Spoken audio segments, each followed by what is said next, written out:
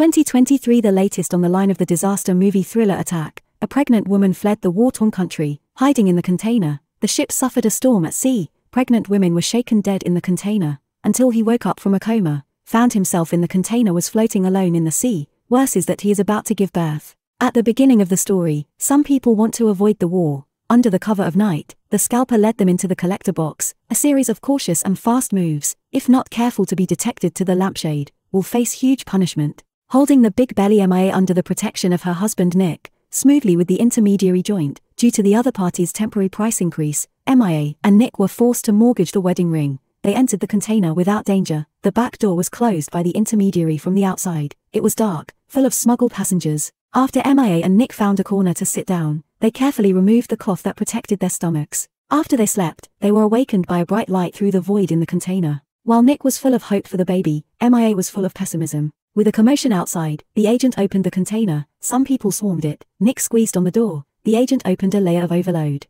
violently pulled down the people near the door one by one, Nick was among them, he wanted to explain himself and his wife together, but was the agent did not listen, directly closed the door of the container.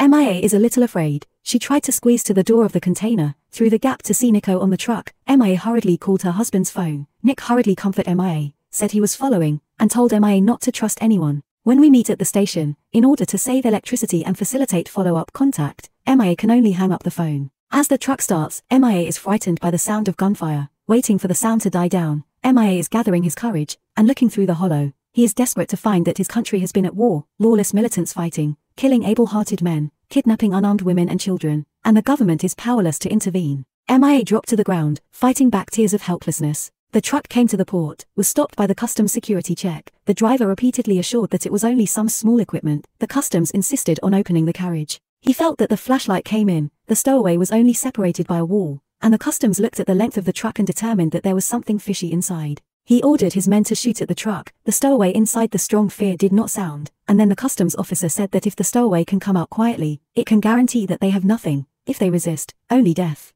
MIA remember her husband's words, no longer believe anyone, struggling to climb the partition to hide her body, but unexpectedly naive stowaways choose to open the door. The next second was shot dead by the customs random gun. Only MIA escaped, and he held his mouth tight, not daring to make a sound. Officers thoroughly opened the partition, found that there is a scared silly child froze in place, how mercilessly made up the gun. MIA tearfully watched as the customs dragged out all the bodies of the stowaways. She quickly took out her mobile phone and sent a voice message to Nico, informing her of the horror and telling her husband not to come. Soon Mia's container was hoisted onto the ship, but MIA found that How can not contact Nick. He was awakened in his sleep at night. The ship had been caught in a terrible storm and was teetering on the brink. The container MIA was in shook violently, screaming for help, but no one answered. Then MIA was knocked unconscious.